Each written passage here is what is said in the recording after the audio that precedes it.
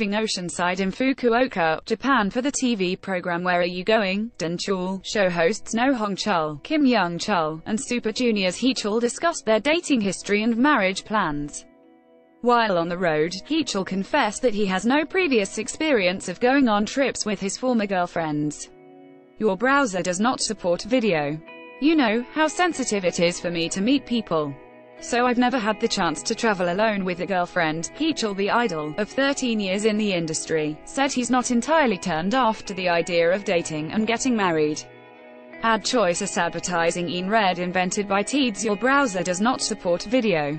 I'm 36 years old though, you know. Sometimes I do want to date freely and I do think about getting married, settling down.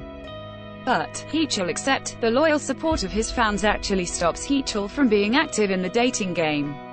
Your browser does not support video. Quote dot dot dot. I have to be as cautious about that as possible. I have fans who have stuck by my side since I debuted, throughout my idol years, and I don't want to hurt them.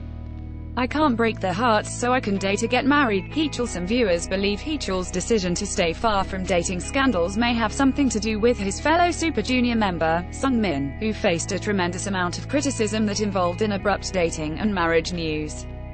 Sungmin clarifies rumors about him that caused fan boycotts. Other fans wished Heechul a life of happiness, sharing blessings for the K-pop idol. I want all of these guys to meet their soulmates and get married.